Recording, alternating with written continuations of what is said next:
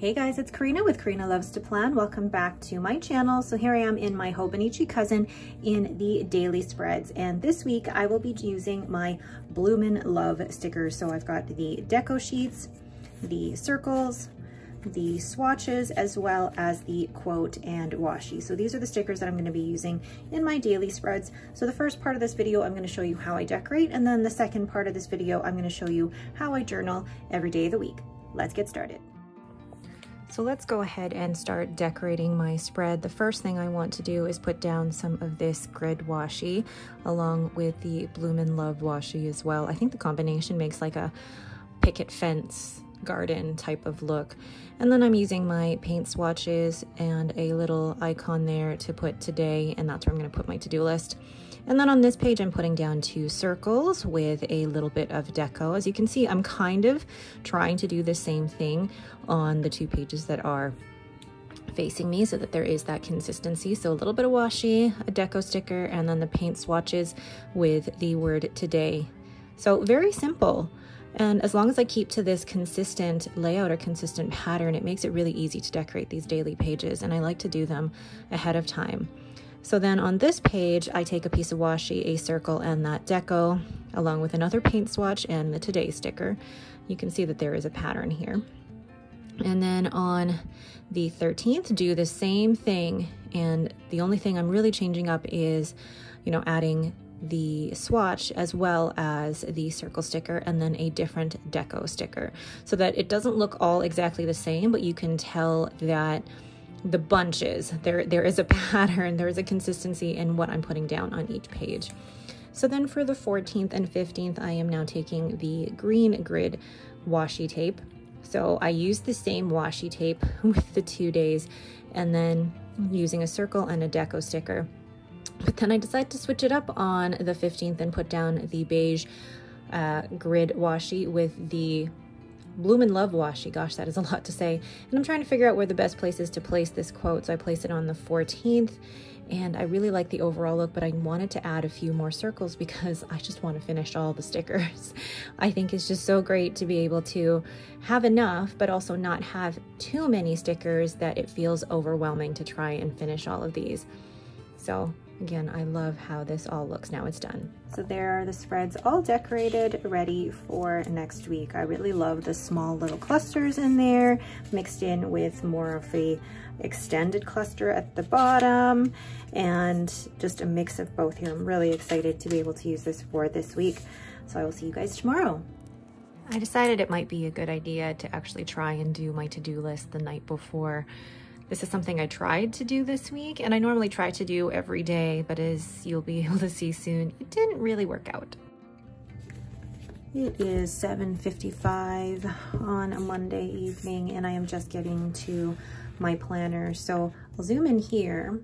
I've started using the yearly spread as a habit tracker and I'm going to do, I might do something different every month depending on how this goes, but for this month I want to meditate every day, read at least 10 pages every day, have my nighttime routine, at least one serving of fruit every day, listen to my audiobook for at least 30 minutes, and also my multivitamin.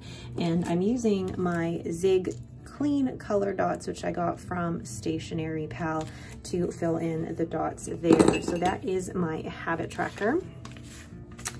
And then for today, I filled in my sleep score. I've also filled in that it's the kid's first day back at school. I've walked Lucy, and then there's other things that I need to do for the day. So let's flip to the daily journal. So I filled in my to-do list last night and I'm already looking through it and I'm not sure there's a few things I still haven't done, so I will full, fill that in for tomorrow. So I'll go ahead then and start writing in my journal for today and I really do like having the time at the end of the day to be able to fill this out. Normally I take the time throughout the day, not just at the end of the day, to be able to fill in my journal. But again, when I'm filming this video, I normally save it to the end of the day rather than just spontaneously filling in my journal here and there. So I really do find time wherever I can in the day to fill out my journal. And then once that's done, then I go into my A6 five-year journal and I love that I'm in the second year of this. For those who are just starting this out, it's so fun when you get to the second year to be able to see what you wrote in the first year. So I really, um, I really think you should stick with it. If you have, you know, if you're finding or not finding the motivation to stick with it, just even a couple of lines every day, you know, something funny that happened, something you're grateful for.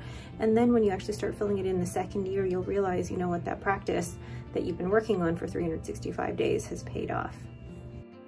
I'm gonna go ahead and write in my to-do list for tomorrow, just because as soon as I have my to-do list in, I don't have to wait really until the end of the day to put my to-do list into my planner. And then this way I have an expectation as to how I want tomorrow to go. It is 8.30 and I don't have all of the time that I would like to be able to journal in my cousin. So I'm just gonna go ahead and journal in my A6 five-year journal and then journal in my cousin tomorrow. It's now Wednesday and I'm just going in here updating my planner using my Laban Rosa in Lilac and then I'm writing in my to-do list and catching up on yesterday. Yesterday was such a busy, busy day, and I'm glad that I already wrote in my A6 five year journal so I can actually just look back on that and then fill in what I need to for the day. As you can see, I'm using a different pen. I'm not using the Lamy Al-Star because the ink was just driving me nuts. So I actually emptied it out and I already sold the pen. so that happens very quickly. And then here I am writing in for today. Now the pen I am using is my Leonardo Momento Zero Grande 2.0 in Angel Skin, and it has this amazing ink from Teranishi called Opera Rose. But basically the point is sometimes you just need a break. Tuesday was so busy and I felt like it would have stressed me out more to try and finish all the journaling. So I let myself have a bit of a reprieve.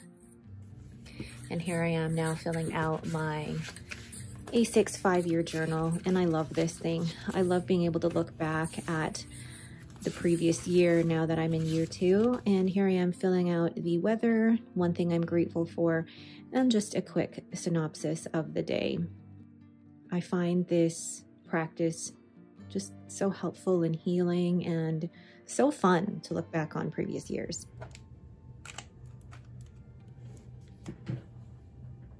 Happy Thursday and it's 8.30 in the evening on the Thursday and it's been quite the, I guess, up and down type of day. I'm gonna go ahead and fill in my planner.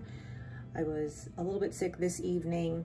I had a bit of a migraine in the afternoon, so I took a bit of a nap. So I am now just getting to journaling. Once I fill in my weekly planner, then I go into my daily spread, fill out my to-do lists, but then I also start journaling. And once I am done journaling in my daily spread, I don't fill out the whole thing on the same day because of the time that I do fill out my journal, some things haven't happened yet. So I don't fully finish the journaling spread until the next day. But also sometimes I do like to add photos and I don't normally add them until the end of the week.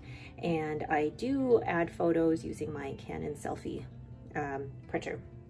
Once I'm done that, then I will go into my five-year journal where I fill in the weather and it's actually so cool to compare it to the weather this time last year. One thing I'm grateful for, but then also do a little quick synopsis of the day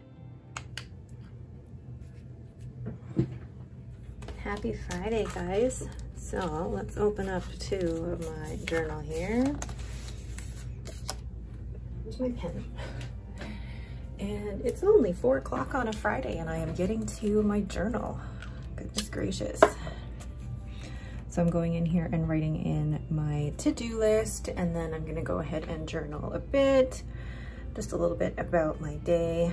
I really love using this fountain pen. This is my Laban Rosa in Lilac and it has Colorverse Alpha PSC or Pisces in it.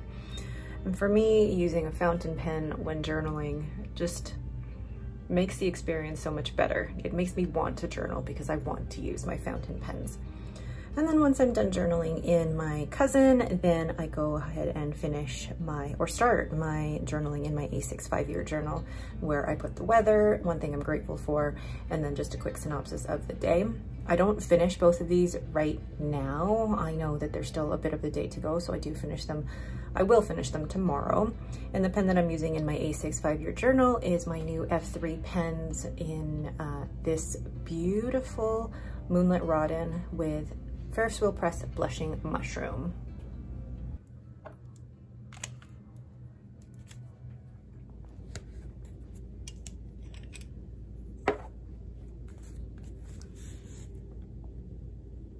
Happy Saturday, everybody. So here I am filling in my to-do list for the day. A lot of it already done, thank goodness.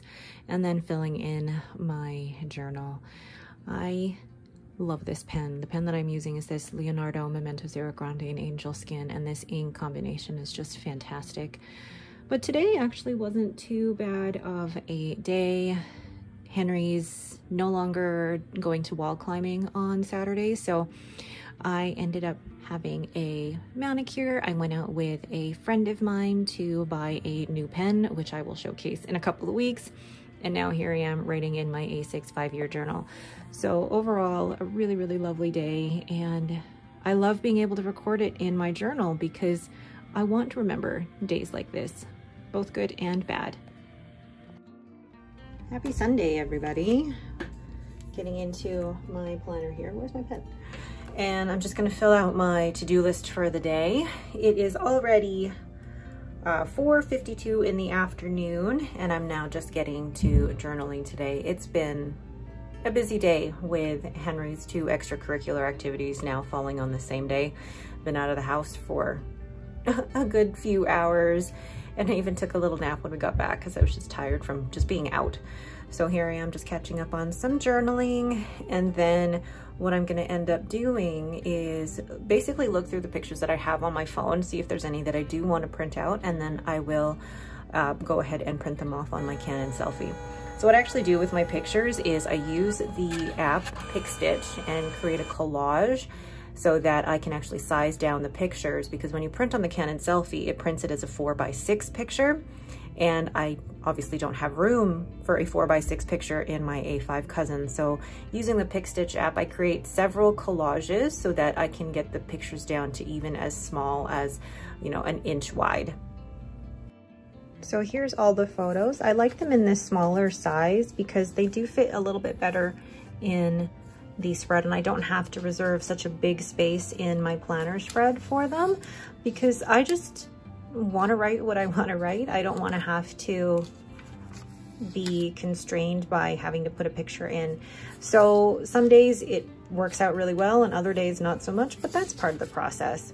So I then use my mono, my Tombow Mono Air adhesive to just put a couple things on the back. This one went on the 9th because I sold that pen on the 9th.